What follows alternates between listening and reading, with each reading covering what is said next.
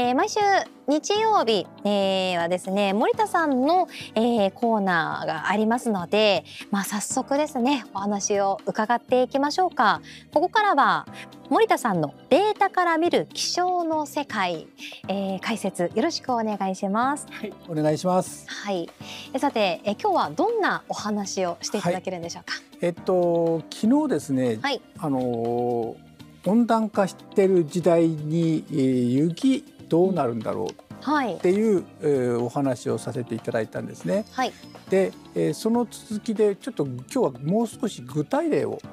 やりたいなと思っておりまして、はい、はい、えー、ということであの気候昨日からの続きになります。はい、はい、えー、タイトルは気候変動で日本の冬はどう変わる。からの具体的な気象の変化。っていう、えー、タイトルになります。まあ、なんか温暖化っていうとまあこう温度が上がって、なんか大雪のリスクは減るんじゃない？って単純な話じゃないよって話が昨日ありましたよね。はい、はい、ちょっとおさらいをさせていただきますと、はい、うん、えー、まあ全体的には減るんですね。はい。減るんですけど、えー、10年に一度の大雪まあドカ雪ってやつですけども、はい、えー、それが増えるところってのもあるんですよという、うん、えー、こういうお話をさせていただきました。だから全体は減るんだけどドカ雪が増えるという、はい、はい、山や北海道などで増加する可能性がと、ね、はい、この山沿いそれから北海道っていう話です。はい、でその理由は何ですかっていうと大きく2つです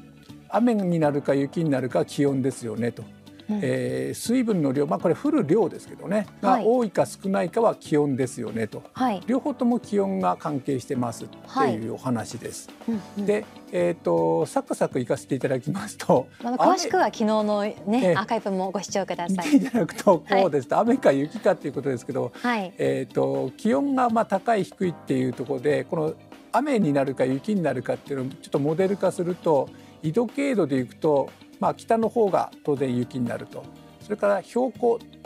でいくと高いところが雪になるという、うん、まあなんとなくこれはイメージできると思うんですが、ねはい、温暖化するということはこのラインが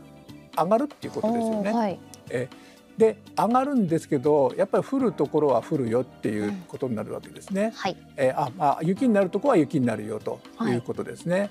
じゃあ今度は量はどうなんですかっていうことで、うんうん、えー、これで皆さんからざわつかれてですねまたかという、はい、そうなんですね、はい、はい、一応あのえあのえー、っとへりくつを言っておきますと、はい、えー、みんな中学校で見てるぞと理科でと。あそうですね、えー。忘れちゃうんですよね。はい、でですね、ここはの、うん、このグラフ詳しいところはまあいいです。はい、ポイントはですね、うん、これが気温ですね。はい、で気温が高くなってくると、うん、縦方向がこれ雨の量だと思ってください。はい、あの理科の先生に怒られますけど あの雨の量が増えると。昨日ちゃんとやっているので昨日もねはしょったんです。あそうなんですか。じゃあ、えーと、怒られるかもしれません、はい、気温が高くなると、はい、え降水量が増えるっていう図ですっていう、はい、まあ、お話です、はい、ということで水分の量これ、まあ、あの降水量は気温で決まる、うんうんうん、で、えーと、あとはこの降水量増える降水量っていうのが雪になるか雨になるかはさっきの図ですっていう、はい。はい、えー、ことだけちょっとまず前提として、頭に皆さんで共有していただきたいという、はい、ここまではこういう感じなんですけど、はい、よろしいでしょうか？まあ気温との関係というのがね、はい、大事なんですね。あ、飽和水蒸気量と来ておりますけれども。はい、で、えーとまあ、こういう状況になっていくと、まあ、例えば北陸は10年に一度の大雪は5倍にリスクは5倍になりますよとかですね、はい、えー、まあ、こういったも話もちょっとやりつつなんですけども、まあ、一応これで、えーと、いいというふうにした時今日ここからこの話をしたかあここからがメインと。いうですね。今日。はい、でえーとまあ、温暖化してますねっていうことでこれ感じる近年の変化って書いてありますけど、はい、えー、一応この感じてるのは私なんですけども皆さんも共有、はい、共感していただけるといいなと思ってるんですけど、はい、えー、それまでは警報注意報しかなかったんですけども2013年、まあ、11年前から特別警報って出ましたよね、うん、とい。うようなあ、まあ、なんでこれ出たかっていうと雨の降り方が変わってきたね。特に2011年のえーと、紀伊半島あたりでものすごい雨降ったんですね、はい、これまでの雨の降り方と違うぞっていうようなことに対応して、えーと、気象業務法が改正されて警報の上に特別警報っていうあのものが出てきたということになります。で、えっとまあ、いろいろ種類があって気象に関連するもの地震に関連するもの津波等に関連するものとか、まあ、いくつかあるんですが、はい、えっと、気象に関しては大雨暴風高潮波浪暴風雪大雪という種類が、まあ、あるんですね。はい、えー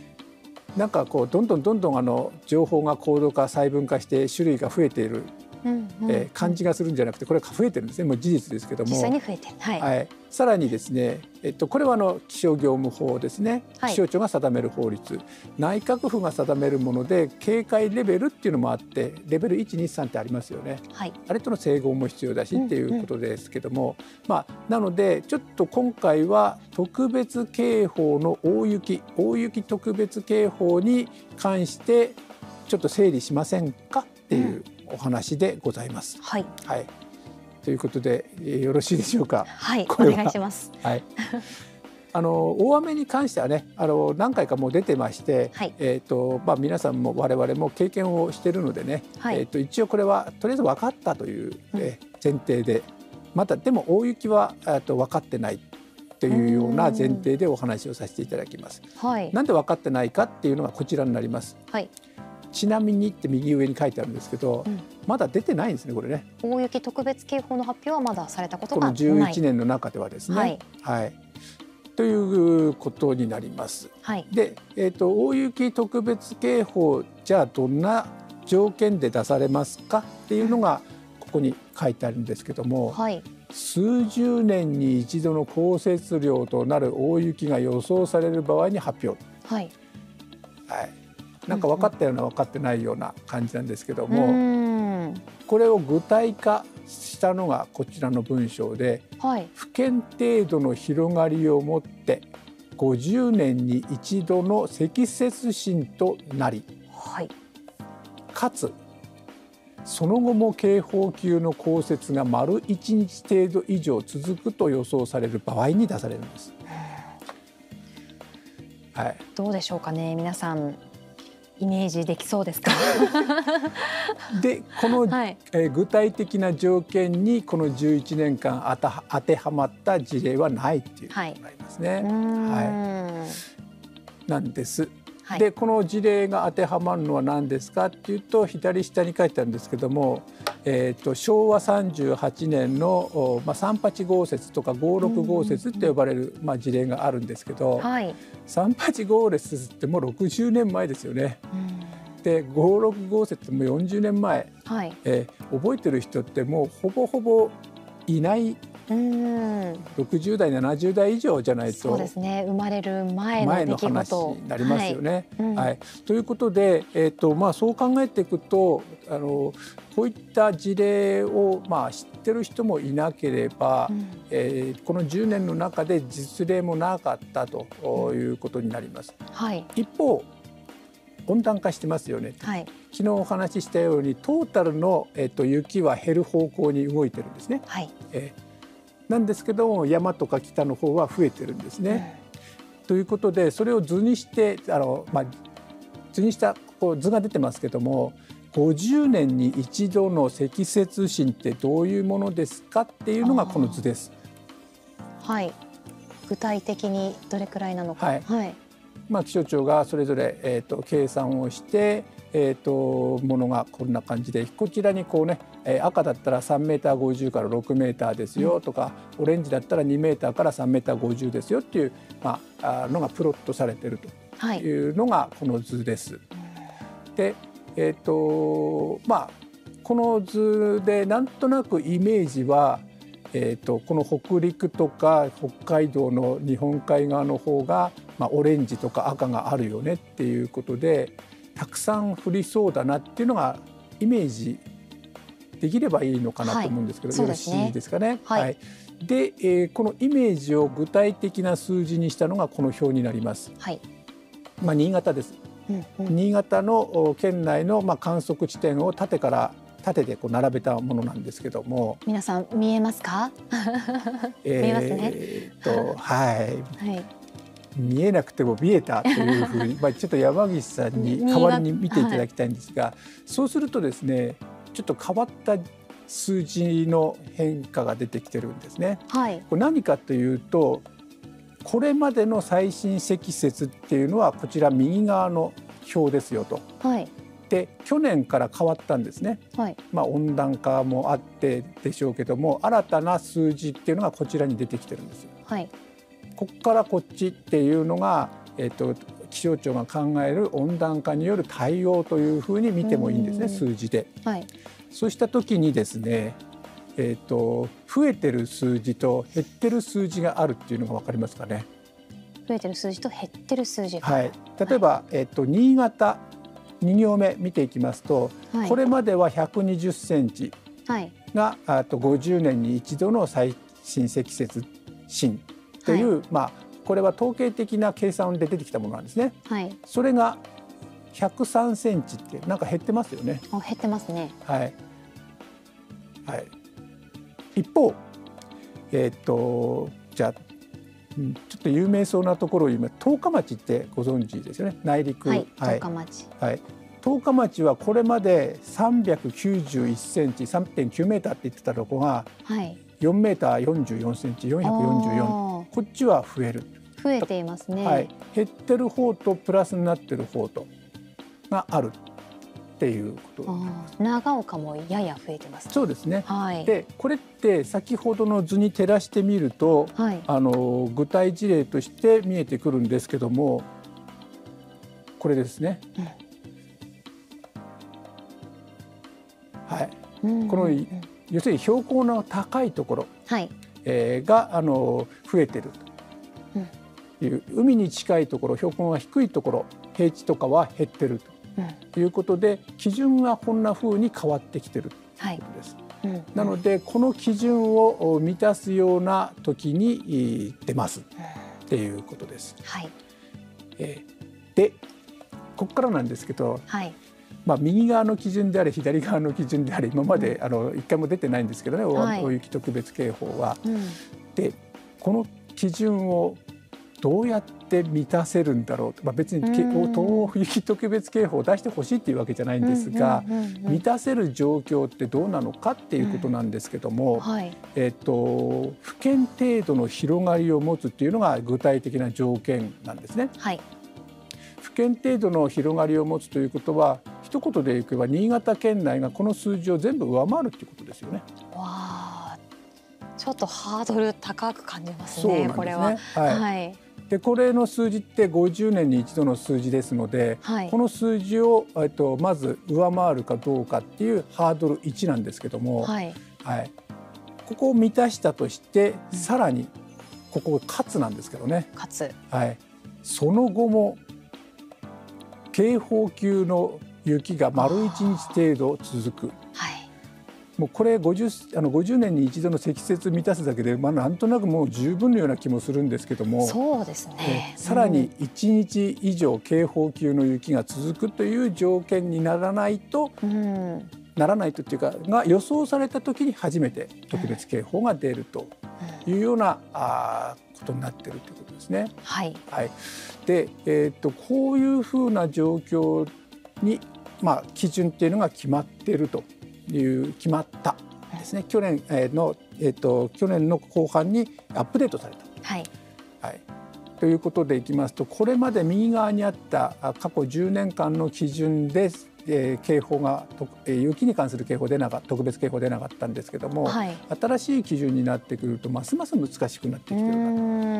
えー、別にあの何度も言いますけど 雪特別警報を期待してるわけじゃないんですけどもそうですね、えー、起きにくい状況になってるっていうことですね。今のところ発表されていないですけど今後も発表されるのかなっていう疑問が浮かん。できますね。うん、で、えーと、じゃあここ10年ぐらいの雪の降り方ってどんな風だったのかねっていうところを、うん、これは気象庁が出している資料なんですけどね。これ新潟の気象台が出してるやつなんですけども、これはもう先ほど一番最初にあの昨日のおさらいをやったのと基本的には同じです。はい、はい。えーと、気象庁もこれまで、えーと、最新積雪が13センチ減ってますよ高田上越市ではとかいうデータを持っててっていうかあの、えー、紹介してますし、えーと、2度シナリオと呼ばれた時には、最新積雪さらに30%減りますとか4度シナリオでは80%下がりますという情報を持ってて各韓国気象台ごとこういった情報を発表するような形になってるんですね。はい、はい。で実際ではあのどんなあの雪の降り方があったのかっていうのを国土交通省と気象庁で出してた資料があったので、はい、去年の12月かなんかに出てきたやつを引っ張ってきたんですけども、はい、えっと、ちょっと表が見にくいかと思いますけども、えっと、これそれぞれ色がついてるんですけども、はい、えっと、平成21年から令和3年度までの期間の雪の降り方をこのグラフで表してますと、はい、それぞれの色でと。はい。で、えー、このグラフは何ですかっていうと横軸が一番最初12月1日ですと。冬の始まりですね、はい、それから降った雪を全部足していきますと、はい、いつまでですか？3月31日までですと。いう、うん。うん、まあ、冬の期間プラス1か月、えーと、降った雪を足していきますということになるんですね。はい、で縦軸は何ですかっていうとそれ足した雪の量です。はい、えっ、ー、とここが200センチに2メートル3メートル4メートル一番上が5メートル500って書いてありますけど5メートルっていうことですね。はい、はいまあ、こんなグラフですから冬が始まって雪が降って毎日降ってる場合も空いた降ってる場合も、えーまあ、闇間がある場合も全部足していきますと。た時に、えーと、これ見ていただきますと一番少なかったこれ令和元年ですけどもこれ122センチなんですね。はい、で一番多かったところこれが青色平成23年なんですけども、えーと、これが4メーター69センチ。この開きというのが非常に大きい、まあ、雪ですからばらつきが多いんですね。はい、このばらつきの中で、えーとえー、今後も変化をしていくということになるかと思うんですね。はい、ではこの期間の平均はどれですかというとこの黒で示したものなんですねこれ。この約20年間ぐらいの中で、えーと、雪の、まあ、降り方の平均がここでですからこれよりも多くなった年もあれば少なくなった年もあると。そういう見方をしていただければいいと思うんですけども、はい、なんかこの平均よりも上の方にあるグループの方の年数の方が多いですよね。そうですね。ちょっと目立ちますね。はい。でこの平均の仕方なんですけども、この令和元年の123センチ、122センチっていう極端に少ないやつを入れるかどうかによってここずいぶん違ってくるんですよね。そうですね。っていうことを踏まえながら、はい、はい、あのこれ全国のえっと、平均ですので、えっと、それぞれ雪が多くあこの中でもで全体的には雪は減っていく傾向なんですけども、はい、えっと、高い山であるとか北海道であるとか、まあ、そういったところをこう抜き出してくるとまた変化っていうのが出てくるというのが、えー、あるということですね。でちなみに、はい、えっと令和3年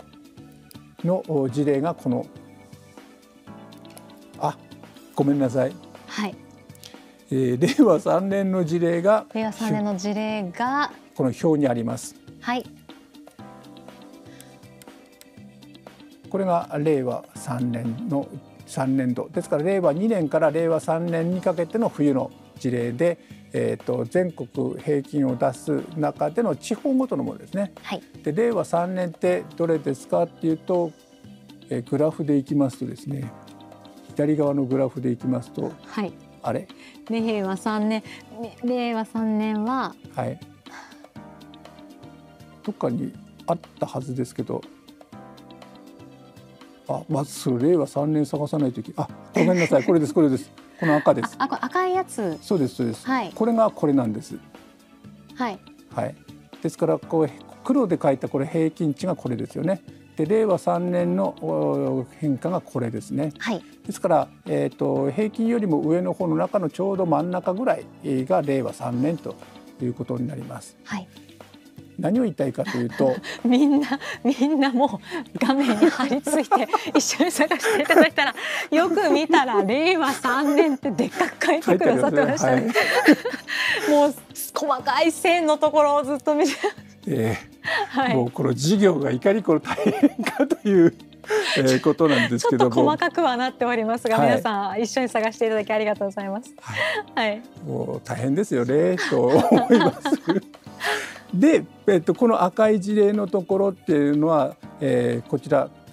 これ全国なので、はい、これを各都道府県に分けたものがこの表ということになるわけですね。はい、はい、でこの表、えー、北海道から東北まで出てますけども、えー、過去5年の平均さっきの黒の線に比べて多かったか少なかったかっていう割合をこれ計算しているものが表あの一番左側になりますと。はい、これです。そうするとこの表の中で赤で強調してるんですけども滋賀とか京都っていうのが突出して割合が大きくなってますねこれ3倍から3倍前後。はい他のところは 1. 点何倍とか、うんうん、まあ、2倍以下なんですけどもここがあ、まあ、2倍から 3,、まあ、3倍前後になってるというのがあって滋賀とか京都とかっていうこういったところで、えーまあ、増えてその他はまあ1倍ちょっとですよっていうことで何を言いたいかというと、雪が降るところの偏りというのが非常に大きく出てくるっていう、えことが、まあ、このデータから分かってくるっていう、まあ、そういうものだというふうに見ていただければいいのかなと。で令和3年って何年でしたっけ？2000ちょっと待ってくださいね。えー、っと。少々お待ちください。2000令和3年は？3年前。2021年ですか21年ですね。2021、はい、2021年の時のまあ雪の降り方っていうのをちょっと思い出していただいてこの時にですねこの辺りで結構あの道路が止まったりとかなんとかってした。でも他のところはさほどではなかったっていう年なんですね。はい、えー、で、えーと、こういったあのなんていうか偏り地域的な偏りが毎年のように出てくるんですけどもこの中で、えーと、今日ちょっとお話ししたかったのはあの今から10年前にものすごい雪降ったんですよね。はい、はい。でその時には警報にはあの特別警報は出なかったんですけども、はい、その時との関係っていうのをちょっと振り返っておこうかなっていうところなんでちょっと画面一旦戻っていただいていいですかね。はい、こういうあの、えっとまあ、違いがいっぱい出てくるんですけどもこの中で2018年に2018はい、関東で、えー、南岸低気圧で大雪が降ってっていうのがあ,、あります。ありましたね。はい、でこれはベザーニューズがあのプレスリリースを出したあところなんですけども、えーと、関東やなんかでも大雪が降ったんです。でこれの時も記録は50年に一遍ぐらいの、えー、大雪を記録したところが関東至る所で出てきたんですね。はい、でこれがデータはこちらの方です。えーと、2018年の1月22日と2014年のデータがありますけども、まあ、23センチ19センチということでかなり降っていたで2014年の時も降っていたんですけども、まあ、こういった事例の時にはですね過去1位になっていても、まあ、警報にあの特別警報にはなっていないような、まあ、事例とも出てきているっていうことで、はい、まあ、あのこの時はですね結構な被害が出てるんですね。2014年の時には、えー、かなり道路網が寸断される広範囲甲信越甲信地方まで。で2018年の時も、えー、相当なこう、ね、被害っていうのが出てきたんですけども、はい、こういった時にも出てこないっていう状況ですね。確かに2014年覚えてるなってコメント結構ありますけれどもかなり大きな影響が、えー、出たっていう印象皆さん残ってると思いますがそれでもまあ、うん、特別警報にはなっていない。はいまあ、覚えてる方の中にはあの特に、えーと、多かったのがあの山梨とかね、はい、長野の辺りで本当にこう雪に埋まってしまって動けないような状況になった方々が多かったと。いうことですね。はい、ということで、まあ、データだけからいきますとあの、まあ、日本海側と太平洋側では全然違うんですけども、まあ、今の警報の基準でいった時特別警報の基準でいった時には、えーと、なかなかやっぱ警報というのは出にくいようなあ、まあ、状況になっているということですね。ただ一方で、えーと具体的にこう、ね、いろいろなこう影響がかなり社会的にも大きいということが出てきます。それから実際我々が感じるものとして短時間に一気にドッと降るっていうようなこれまで昔の、えー、と雪の降り方積もり方とは違ってきてるという状況になってきてるので、まあ、温暖化の時代で、まあ、雪の降り方変わってくるっていった時の、えーとまあ、影響の捉え方、別に大雪特別警報を待つ必要はないんですけども短時間に一気に増えるようなそして生活に影響を与えるようなものっていうのを、えー、捉えていって、でそれに対策するっていう状況が、えー、今後我々の中でこう、ね、できていくのといいのかなと。特にこの番組見てる方とこう協力できてでそれを、まあ、見てない方にも含めて広げていきたいと思ってますと。最後はすげえ早口です まだ特別警報出るレベルじゃないしななんていう油断は、はい、えー、まあ、間違っているということですね。うん、すね。はい、はい。まあ、先ほどはデータだけ見ましたけども降り方雪の降り方積もり方っていうのはまだあの数字ではお示ししてないんですけどもねそこ変わってきてるんじゃないか。でそれを感じてる方がやっぱり、えー、この番組ご覧いただいてる方も多いと思われますのでね、はい、それに対応したああの対策の取り方ちょっと考えていく必要があるのかなっていうのが、はい、落ちですけど、落ちてないんですけど。まあでも、まあ、どういう基準で出されてっていうのはこう具体的にご存知でない方もたくさんいらっしゃるかと思いますし、うん、こういう情報なんだって知ることできっとこれから、まあ、あのいろんな情報の受け取り方っていうのも変わってくるかと思いますので、はい、まずはねこうしっかり情報を整理していただいた上で、まあ、これからも、まあ、ご自身の地域で大雪予想されるような時には、まあ、しっかり惑わされることなく対策につなげていただきたいところですね。はい、はい、あなかなかですね。今日はちょっと、えー、細かい図なんかも出てきたりして 皆さん一緒に探していただいたりなんていう時間もありましたけれども、まあ、このねいろんな情報が、えー、飛び交う中でですね、まあ、正しく受け取って正しく備えるってすごく重要になりますので、まあ、少しずつこの番組の中で扱っていければと思います。ね、雪の予想も難しいよねなんてコメントもいただいておりますけれども、まあ、ぜひですね今後もこのウェザーニュースライブで皆さんの意見伺いながら確認していければと思います。森田さん今日ありがとうございました。